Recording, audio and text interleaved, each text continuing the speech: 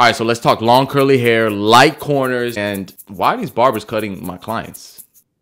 Hmm?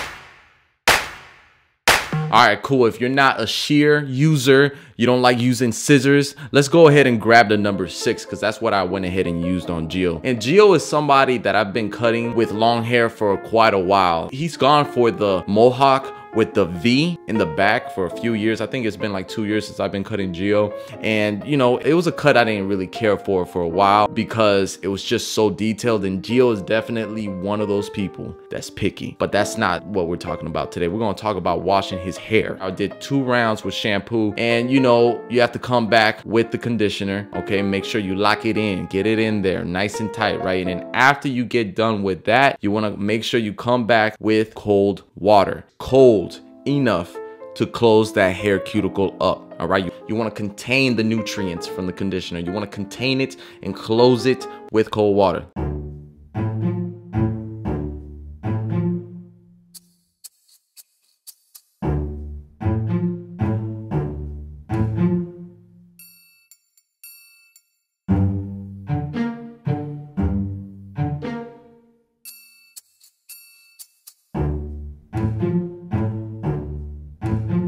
You know, I have had a two week journey. I was just taking classes with Joshua P. And we'll talk about that in another video. But, you know, when I look at my process for this haircut and what I came to learn in the last two weeks, let me just say I would never do it like this ever again, but I still want to show this journey. Let's just say don't completely follow this. This is what you would do if you don't really have a solid process. And for those that have been following me for quite a while, you know I haven't always had a solid process and I just kind of wing it. But, you know, those days have come to an end, boys and girls. The future is looking bright. Now, after I got done using the number five or all the way around the ridge, I come back with the number six, the same number six that I used to go with the grain. Now I'm going against the grain around the fringe area. I want to tighten it up a little bit and you know it's it's almost like a fade process. You start with a high guard and then you lower it a little bit. As you see i went from a six to a five. And that was just to tighten it up for when i come back to edge it up. But we're not there yet. We're gonna get there. We're gonna focus on the sides again. And it's a little unorganized like i already mentioned but just just follow me. We're on a journey. This video is about happy mistakes all right? So let's keep going. I had used the number four. Now we're on the number three. It's almost like a fading down process because geo you know know, when he came to me that day, he told me that he wanted to cut all his hair off. And I'm like, dope. Can you come back later in the day? Because we, we, you know, time's too tight right now. And he said that he wanted to do a low fade. He ended up coming later in the day. Shout out to Gio. And, you know, I don't really care for low fades, like at all. Uh, but I have come to grow. And in this process, I don't really stamp with trimmers like I normally do in other videos. I go ahead and use my clippers. Yo, hold up. I don't know if y'all peep game right now, but your boy got some new clippers, all right? I don't know if you can see the new cover on that thing, but yo, shout outs to Joseph from Clipper Crafters. He reached out to me and he wanted to make a custom made YoFonzz clipper cover. All I gotta say is this is my first custom cover and it feels great, I must say.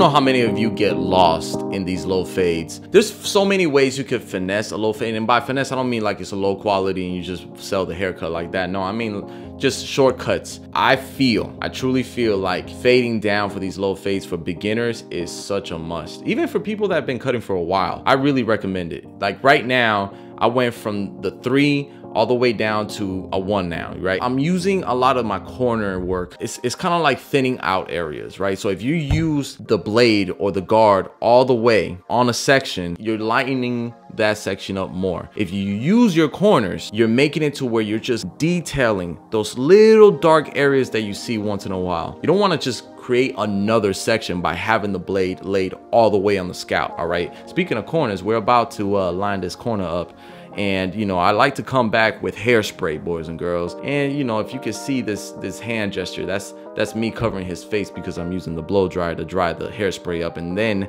we're gonna go ahead and apply a little bit of pressure. As you can see right now, I start with the end of the vertical bar, right? And I just kind of create that initial line, right? Not on an angle, pretty much straight ahead. And then from there, I just go from the bottom and connect it to the top, okay? And that's that's pretty much how I go about my C cup. Geo doesn't like that real intense C cup where once it grows back, it looks kind of kind of rough. He doesn't like that one. So I didn't go too, you know, too enhanced on this one.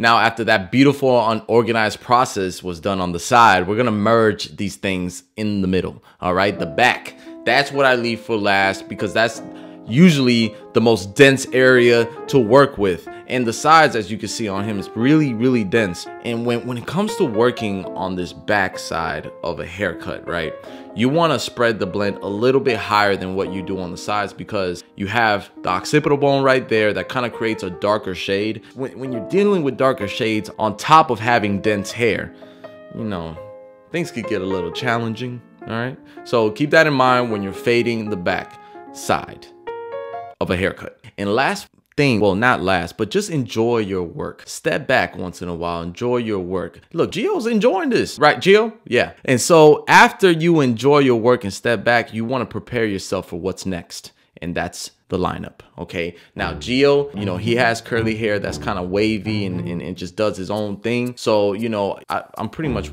wasting my time right now trying to style that. I mean, it's not wasting my time, but you know, I'm trying to style the hair first, I guess, because in my mind, I'm like, if I style the hair, Geo, um, you know, and, and going ahead and, you know, poke and pull the hairs, giving it, you know, more texture, it's gonna make it to where I don't move the hairline, right? So fair enough, fair play, Fonz. After that, you also wanna make sure you comb the hair down once you start lining this up. And as you can see, I walked away for a little bit and Geo thought, you know, he could do a quick stare down of what's going on. So I saw that, Geo. I saw that. Don't think I didn't see that, boy. And, you know, whatever. You keep going.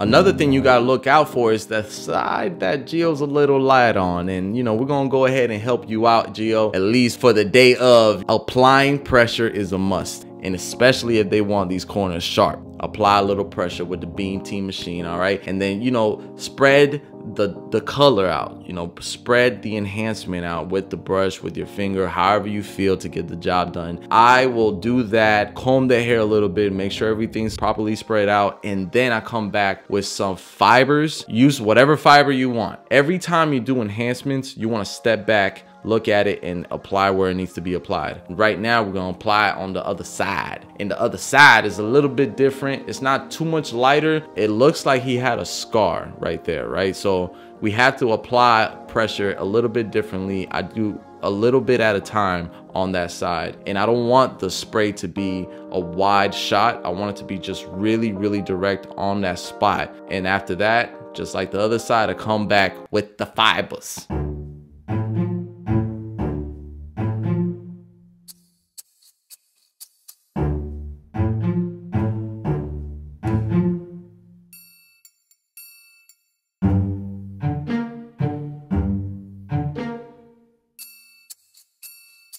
And after you do that, you know, you just apply pressure where you, I'm saying apply pressure a lot. Apply pressure where you need to be. And if you want to waste some time, go ahead and bust out your texturizing shears because I sure wanted to waste time on this day. Let's not do that ever again, Fonz. So after that, though, we're going to go ahead and get some more product. At this point, you don't need more product, especially if you apply product while the hair is wet but it, I don't think I applied any product when the hair was wet. So I came back and tried to uh, apply a little bit of clay, not pressure. You thought I was gonna say pressure. No, clay. And at this point, I'm kind of focusing on styling, right? I come back with the hairspray. The only thing, well, there's a lot of things, like I already mentioned, that I would never do again after the class that I've already taken, but I'm not spraying directly to the hair anymore. I kind of like missed it up. After that, we're gonna go ahead, clean the face out. I don't have to get everything really low. As long as it's low enough for the shaver to come back and grab, you're good to go. And I, oh, another thing that I've been doing differently is I have two separate shavers now. I have one for the bald fades and I have one for the face. So I don't kind of, you know,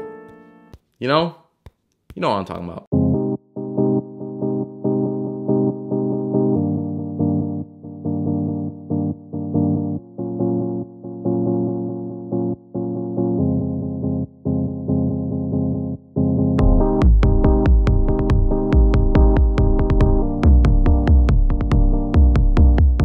All right, so you dropped the hair, you took unnecessary steps to get to this fade. It's okay though, because it's a beautiful mistake. And at the end of the day, what you want is to get to the final point, the final product, what your client wants, whether it's one way or the other, get there. Now, I must say, if you have a process, life is so much easier. So Gio, just know, I appreciate you, bro, because you, sir, look different.